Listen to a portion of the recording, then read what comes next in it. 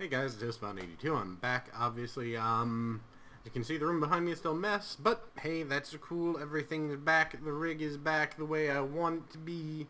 Things are semi-normal. Let me show you um, what we're currently working with. That's the microphone I use. It's the Blue Snowball. I decided to put it back on its stand. I had it on an arm. It was hanging off my computer, but uh, anyway, so yeah, this is what the rig currently looks like. I actually built this the wall of Nintendo consoles on there. Yeah, I know, it looks like crap. I built those drawers. That are what my video games are currently in. I don't know why I still have that copy of DSX. I can't actually do anything with it. Anyway. Um, so yes, that's it. The rig is complete.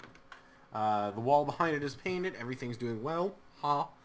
Um, I figured to do a quick update video so you guys knew what was going on. And uh, I'll put videos up shortly because I'm sleepy and going to bed because I've done a lot of work today and managed to pull a bunch of muscles in my arm because I'm fat and out of shape. Anyway, I'll uh, get back to videos.